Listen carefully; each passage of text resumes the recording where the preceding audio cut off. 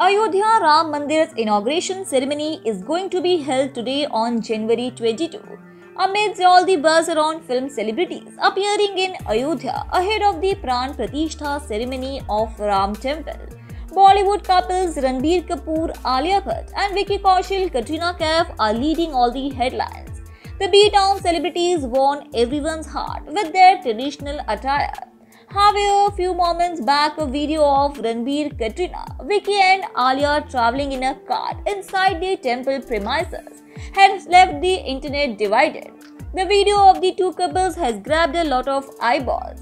While most of the people have not found anything negative in the video, but a section of society is extremely disappointed with their decision to travel in a car instead of walking by themselves.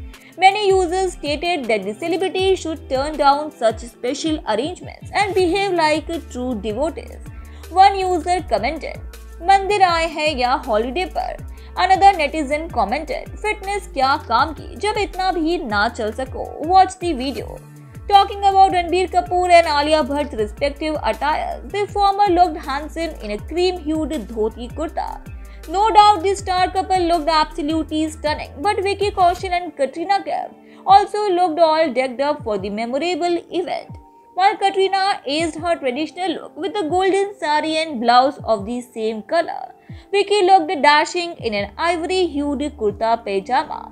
What are your thoughts on people taking a dig at Ranbir Kapoor, Alia Bhatt, Katrina Kaif and Vicky Kaushal? Let us know.